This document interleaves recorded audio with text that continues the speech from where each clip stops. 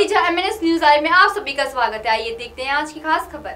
Apple ने स्वास्थ्य निगरानी में समक्ष इन डिस्प्ले फिंगरप्रिंट सेंसर कराया पेटेंट एप्पल को हाल ही में इन डिस्प्ले फिंगरप्रिंट सेंसर का पेटेंट मिला है, जो हृदय और श्वसन दर समेत समेत स्वास्थ्य संबंधी जानकारियाँ रिकॉर्ड कर सकती है। बतौर एप्पल इस सिस्टम से कान को भी बायोमेट्रिक ऑथेंटिकेशन के लिए इस्तेमाल किया जा सकेगा।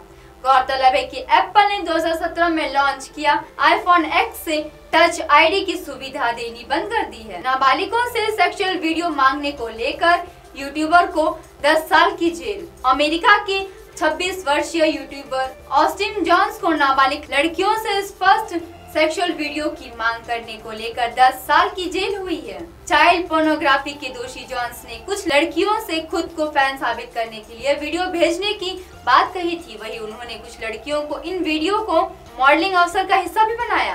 मैं वो बफेट अपना अंगूठा चूसते रहे। गूगल के शेयर नहीं खरीदने पर मंगल। बर्कशायर हथवे के वॉइस चेयरमैन चार्ली मंगल ने कहा कि गूगल के शेयर नहीं खरीदने उनका और दुनिया की चौथे सबसे अमीर शख्स वरन बफेट की सबसे बड़ी गलतियों में से एक थी। बकौल मंगर उन्होंने और बफेट ने देखा कि कैसे वर्कशायर में शानदार सर्च इंजन ऑप्टिमाइजेशन का इस्तेमाल किया गया था, लेकिन वे सिर्फ़ अपना अंगूठा चूसते रहे।